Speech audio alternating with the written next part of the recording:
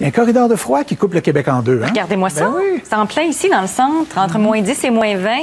Ça part de Sherbrooke, ça se rend jusqu'à Robertval. Alors, le froid est là ce matin, mais un petit peu plus à l'ouest et un peu plus à l'est, ben c'est quand même agréable. On est dans la- le petit doux que j'appelle. Pas la grande douceur, le petit doux. C'est-à-dire qu'on n'est pas très loin du point de congélation. Moins 4 à Montréal. Euh, les vents sont relativement faibles, alors c'est plutôt agréable. On parle de normal de saison aujourd'hui. Euh, les conditions sont surtout nuageuses sur l'Ontario et le Québec. Ça a comme emprisonné finalement l'air Alors qu'évidemment, vu que c'est plus froid pour les secteurs centres, on le voit bien, le ciel est davantage dégagé, mais les nuages s'en viennent. Ça va s'ennuager.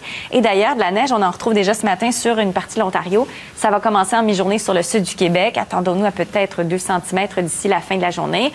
Demain, on n'aura pas ça. Pas de neige, surtout des percées de soleil avec du temps un peu plus venteux et un peu plus froid. Et vendredi, un peu plus de soleil aussi, mais toujours un peu plus froid. Et pour la fin de semaine également. Alors, si on résume, par contre, pour aujourd'hui, la tempête est terminée sur les maritimes. Les nuages sont un peu récalcitrants, mais en mi-journée, on devrait avoir un peu de soleil. Euh, faible neige qui commence en mi-journée à Montréal. Et pour ce qui est des secteurs plus à l'ouest, ben, on voit qu'il y a quand même une part de soleil qui est plutôt intéressante et les températures ne sont pas trop froides.